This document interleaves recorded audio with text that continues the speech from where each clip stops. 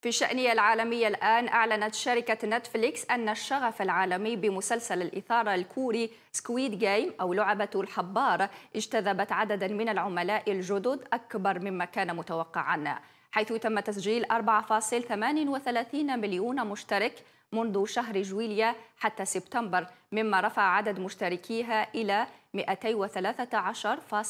مليون من كل أنحاء العالم حيث يتصدر المسلسل قوائم الأعمال الأكثر مشاهدة على نتفليكس في 94 دولة وأثار شغفا كبيرا بتعلم اللغة الكورية.